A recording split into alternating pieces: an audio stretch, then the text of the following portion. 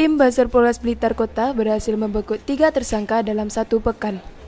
Dua dari tiga tersangka di antaranya terjerat kasus pencurian di sebuah warung makan bakso di Jalan Raya Bangsri, Kecamatan Glegok, yang dilakukan oleh dua pemuda inisial SR umur 29 tahun dan RH umur 19 tahun asal desa Penataran, Kecamatan Glegok, yang dilakukan oleh dua pemuda inisial SR umur 29 tahun dan RH umur 19 tahun asal desa Penataran, Kecamatan Glegok, Kabupaten Blitar.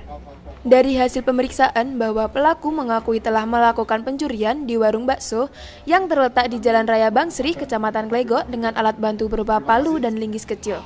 Pelaku dikenakan pasal 363 KUHP dengan masing-masing hukuman penjara 7 tahun. Selanjutnya, kasus perampasan sebuah handphone milik perempuan inisial AF di sebuah jalan raya kawasan hutan Maliran, Desa Maliran, Kecamatan Ponggok, Kabupaten Blitar, yang dilakukan oleh tersangka inisial HP umur 30 tahun asal Desa Maliran, Kecamatan Ponggok, Kabupaten Blitar.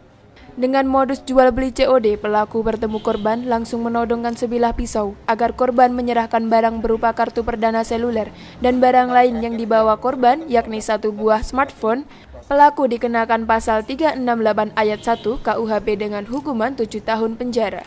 Telah terjadi 363 pencurian dengan pemberatan, ya, jadi dapat dituntut paling lama 7 tahun. Terjadi di warung bakso Jalan Raya Bang Sri Glegok.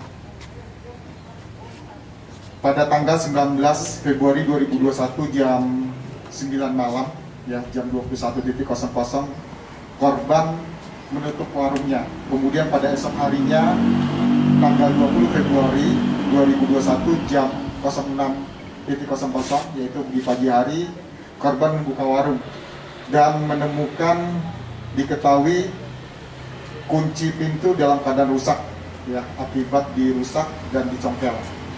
Jadi uh, korban mengecek ada beberapa yang hilang yaitu satu handphone. Tersangka inisial, inisial S 29 tahun karyawan swasta kemudian Rian 19 tahun ya inisial R Selanjutnya, polisi memamerkan sejumlah barang bukti milik pelaku, sementara pelaku kini ditahan di Polres Kota Blitar guna proses hukum lebih lanjut. Dari Blitar, Jawa Timur, Tim Liputan melaporkan.